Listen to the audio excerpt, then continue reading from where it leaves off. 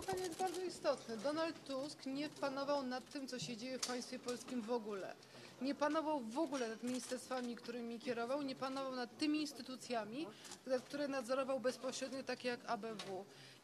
Proszę pamiętać, że celem pracy komisji, proszę, uprzejmie proszę o pewną przestrzeń, dobrze? Celem pracy komisji, proszę Państwa, było rozliczenie instytucji i urzędów, które podlegają kontroli Sejmu. Jeżeli Państwo nie widzicie celu, na przykład nie widzicie choćby takiej sytuacji, w której Donald Tusk jego ministrowie okłamują społeczeństwo z mównicy sejmowej, mówiąc o tym, że służby specjalne powzięły wiedzę w tej sprawie od marca 2012. To jest nieprawdziwa informacja. Powzięły tą wiedzę od sierpnia 2011. Proszę Państwa, czy znacie Państwo drugi europejski kraj, którym dziewięciokrotnie karany przestępca zakłada linie lotnicze, które są konkurencją dla narodowego przewoźnika, a służby specjalne mu w tym nie przeszkadzają? Czy znacie Państwo drugi wielki kraj w Europie, w którym w tworzeniu tych linii dziewięciokrotnie karany przestępca zatrudnia syna premiera, a służby specjalne nigdy tego faktu nie odkrywają? Proszę Państwa, to oznacza tylko jedną rzecz, że Donald Tusk w ogóle nie panował nad tym, co się w kraju dzieje.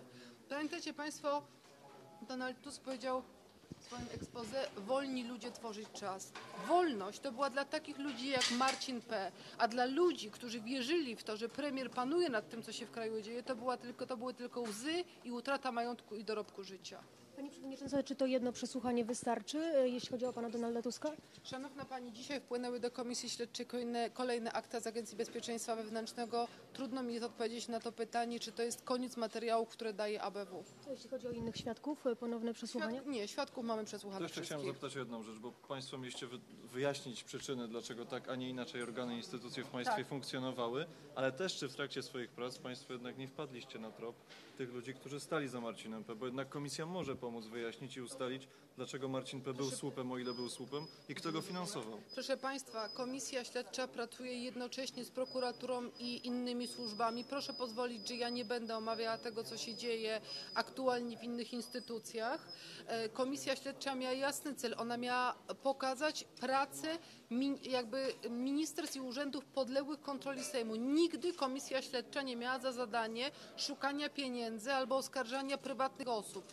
Zwróćcie Państwo uwagę, mimo mojej skrajnie negatywnej oceny, na przykład dotyczącej e, tego, co się działo w bankach, no zresztą złożyliśmy zawiadomienie podejrzenia prania brudnych pieniędzy, komisja nie mogła wezwać przedstawicieli banków, dlatego że oni nie podlegają kontroli sejmowej.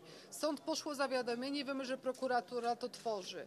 Proszę Państwa, e, działamy na iluś płaszczyznach, każdy z nas ma inny cel. Komisja swój cel osiągnęła, pokazała, że rzeczywiście e, no, Pan premier Donald Tusk chyba miał takie wrażenie, że y, państwo powinno rządzić się samo. To znaczy nie ma nadzoru, nie ma kontroli, nie ma koordynacji, nie ma rozliczania, a tak to nie może wyglądać, bo jeżeli tak się zarządza państwem, to są takie skutki, jakie były właśnie w przypadku Amber To Gold. jeszcze jeden fragment do, do wypowiedzi premiera Tuska, który mówi, to nie jest słowo w słowo, ale mniej więcej sens zachowany. Ludzie chcą zarobić, bo widzą większy procent, ale wtedy ryzykują. Nie widzę roli premiera, żeby wychodził i ostrzegał. Wystarczające środki zostały podjęte. Czyli możemy rozumieć to tak, że ludzie chcieli zarobić, byli chciwi, e, zainwestowali w Amber Gold, ale jak ktoś obiecuje dużo, to równie dużo można stracić. Wie pan, przede wszystkim ludzie wierzyli w to, że jeżeli jest firma, która jest na każdej ulicy i w każdym większym mieście w kraju, to znaczy, że gdyby była nielegalna, to jest policja, prokuratura, y, służby specjalne, służby skarbowe y, i tak dalej, i tak dalej. W związku z czym, jeżeli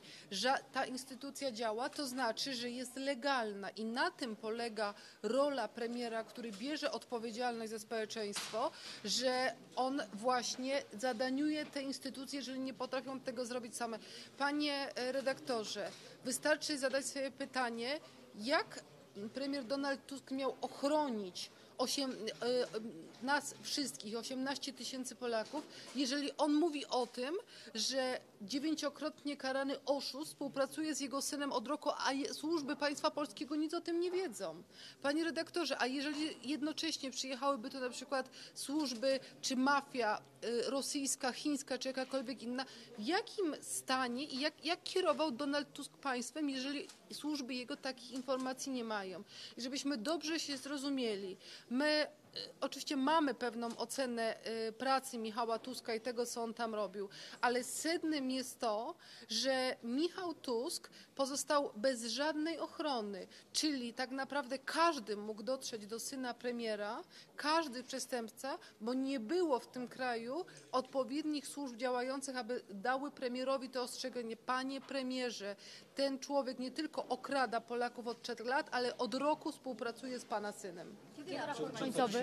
Kiedy, kiedy raport może być gotowy? Trudno mi jest na to pytanie odpowiedzieć. No, y, proszę Państwa, nie ukrywam, jestem po dość długim maratonie, więc na to pytanie dziś nie odpowiem. To jeszcze jedno pytanie w kwestii raportu, dlatego że tu przed chwilą e, poseł Zębaczyński mówił, że opozycja nie może uczestniczyć w pracach nad przygotowywaniem tego raportu. Czy pani to potwierdza i jak, jak to Pani wygląda? Redaktor, e, pani redaktor, pan poseł Zębaczyński od 28 miesięcy nie wie przede wszystkim, gdzie pracuje. To znaczy on nie wie, co jest przedmiotem komisji, on nie wie, nad czym głosuje.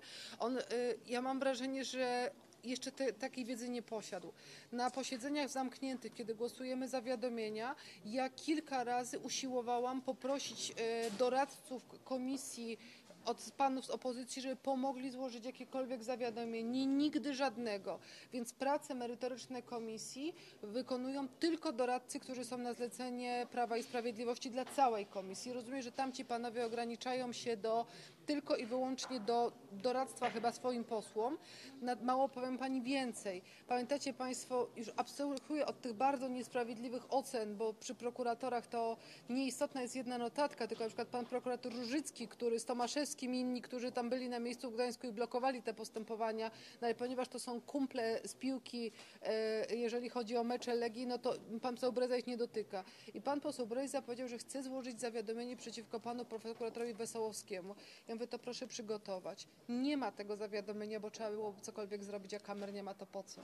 A tak na koniec po ludzku ma Pani poczucie takiej dobrze wykonanej roboty po tych dwóch latach Komisji Śledczej? No wie pan, ja mam poczucie ogromnej pracy wykonanej, absolutnie ogromnej. Ja zrobiłam dzisiaj skrótowe kalendarium, polecam państwu na stronach internetowych Amber Gold, ono się pojawi. To jest oczywiście bardzo skrótowe kalendarium, ale ono pokazuje jedną rzecz, że te wszystkie fakty, które do tej pory były przekazywane opinii publicznej, nie polegały na prawdzie i one pokazywały wszystkim jedną, dla mnie, dla mnie jest taka najistotniejsza konkluzja z tego, to jest taka, zarządzanie państwem, odpowiedzialność za ludzi, za ich życie, za pieniądze, to nie jest to samo, co granie w piłkę na boisku. To nie jest tak, że jeżeli bierze się odpowiedzialność, to można wyjść z takiego założenia, że, on, że państwo się będzie rządziło samo, bo skutki tego są takie, jakie widzieliśmy na, kom- na pracach komisji. Było ostatnie przesłuchanie. Proszę? Opinia publiczna oczekuje kar, nie gonienia król- króliczka, mówiąc Panie kolokwialnie, redak- tylko ukarania panie- również Marcina Plichty. i Panie Marcina redaktorze, ja po raz kolejny mówię, że ja komisja tylko i wyłącznie miała rozliczyć pracę urzędników. Ja nie jestem aparatem ani y, ścigania, ani służb specjalnych, więc ja wiem, że takie prace się toczą, ale odsyłam Państwa do efektów. Między innymi tam ja celowo nigdy nie wnioskowałam o te akty aktualne, no po to, żeby nie pokrzyżować tych postępowań. Wiecie Państwo, że się toczą, wiecie Państwo, że ludzie mają zarzuty, choćby pani policjantka, o której żeśmy mówili. E, w związku z tym, e, no, ja, moja praca została wykonana i mam nadzieję, że Państwo doceniacie to, bo chyba ja daję słowo honoru, ja każdy z tych dokumentów, które się pojawiły w sprawie, miałam we własnych rękach. Premier Tusk przekonywał, że nikomu tak jak jemu nie zależy na dogłębnym wyjaśnieniu sprawy, chociażby ze względu na jego syna. Y, Przekonywał, że jego syn y, w 100% jest uczciwy. Jak pani ocenia y, tę wypowiedź w kontekście tego, co dzisiaj premier Tusk mówił, ale też wcześniejszych działań? W kontekście, w kontekście zarządzania państwem nie jest problemem w tym, czy jego syn jest uczciwy, czy nie. W kontekście tego jest istotne, czy państwo potrafi ochronić swoich obywateli, czy państwo potrafi ochronić syna premiera przed tym, że zapraszają go do współpracy przestępcy. Efekt jest taki, że wiecie państwo, że nie potrafił premier Donald Tusk ochronić ani Polaków, ani własnego syna. Pojawiły się też takie opinie, że Donald Tusk, kiedy stawi się na komisji, to będzie chciał ugrać jakiś swój kapitał polityczny przed ewentualnym powrotem do polityki krajowej. E, Pani ma wrażenie, że dzisiaj e, były premier przyjechał, żeby merytorycznie rozmawiać, czy również e, te wątki kapitału politycznego się tutaj przeplatały? Mm, Wie pan, ja mnie mniej interesuje ta forma zewnętrzna, te, bym powiedziała, pytania przydługie, odpowiedzi, w zasadzie odpowiedzi nie na temat. Dla mnie jest istotna jedna rzecz. Dla mnie było istotne, czy premier Donald Tusk po sześciu latach w końcu zrozumiał, na czym polega odpowiedzialność za państwo, na czym polega odpowiedzialność, jeżeli się nie powołuje ministra koordynatora, co oznacza, że się odpowiada za służby, na czym polega odpowiedzialność, jeżeli się kieruje policją, służbami skarbowymi. To są ogromne uprawnienia, ale też co za tym idzie, to jest ogromna odpowiedzialność. I ja mam takie wrażenie, że on po sześciu latach dalej nie rozumie, że to jest wielka odpowiedzialność. Brak tego to jest krzywda ludzka, dlatego że to nie jest tak, że Polacy byli chciwi. Polacy byli pewni, że nikt się nie odważy na oczach takiej ilości instytucji, które mają uprawnienia operacyjne, prowadzić działalności, bo przecież to jest oczywiste, że ktoś by zareagował. Więc przerzucanie tego na Polaków jest po prostu nieuczciwe, bo to jest co innego, gdyby ta firma była firmą krzak, która powstała w jakiejś małej miejscowości i prawda, po cichu oszukała ileś osób, ktoś mógł powiedzieć, byli pazerni. Proszę Państwa, no jednak ludzie mają prawo mieć zaufanie do y, instytucji rządowych i mają mieć prawo ufać w to, że mają premiera, który o nich dba.